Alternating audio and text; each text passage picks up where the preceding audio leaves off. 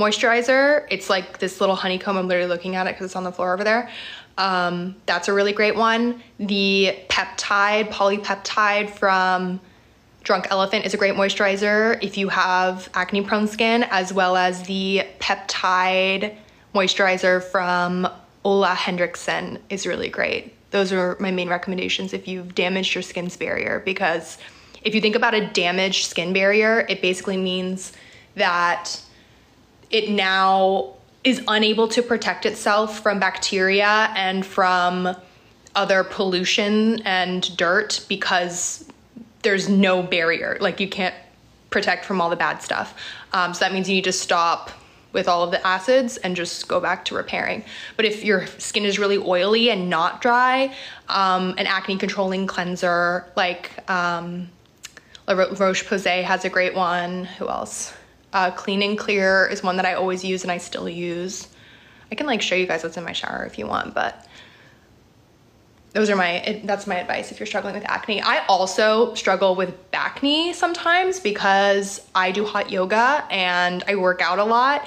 So sometimes randomly if i'm working out a ton and i'm in my sweaty gym clothes for too long i will start seeing back acne. And for that i like using um, there's like a body retinol from Kopari that's great and a uh, like an acid spray i get it on amazon acid spray Amazon. It's like for your, it's meant for your body. Where is it? Hypochlorous acid spray is great.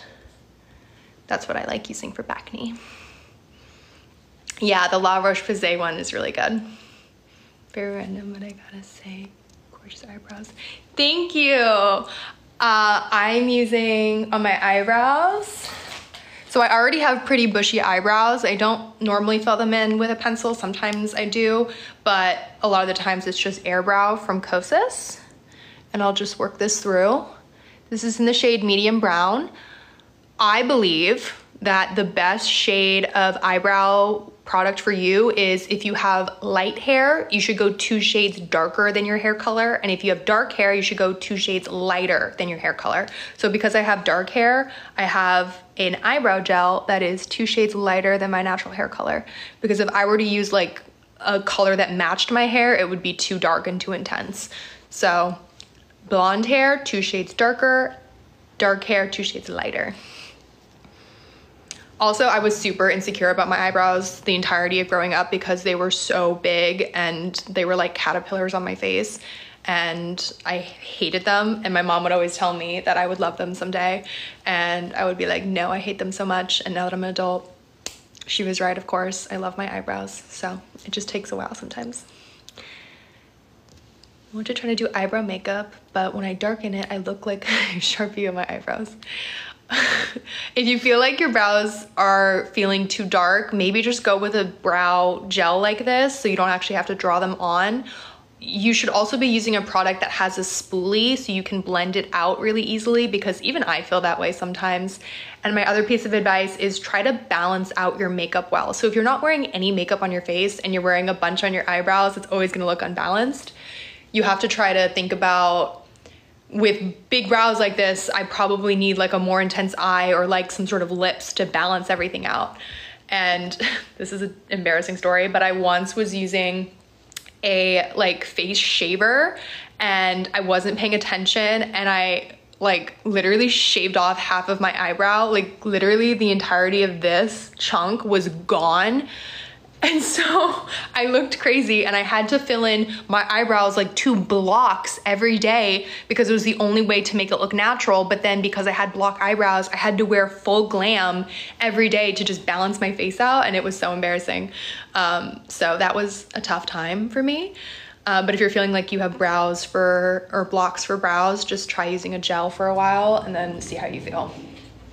Okay, I think I'm gonna use this on the Victoria's Secret video tonight. If you've ever heard of these, they're eye lights from RMS Beauty.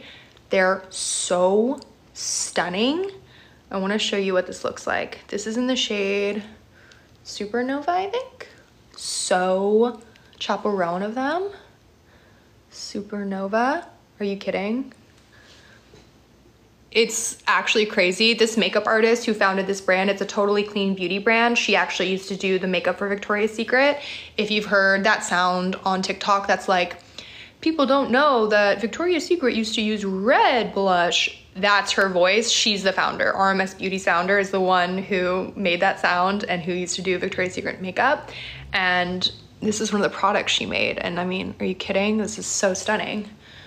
So I think I'm whoa, it doesn't budge either. Once it's dry, it's dry. Good to know. I'm not gonna be able to move that later. Oopsie, I guess that's part of me now, but they're really beautiful. She did Victoria's Secret makeup back in like 2001, 2002, like really old Victoria's Secret days.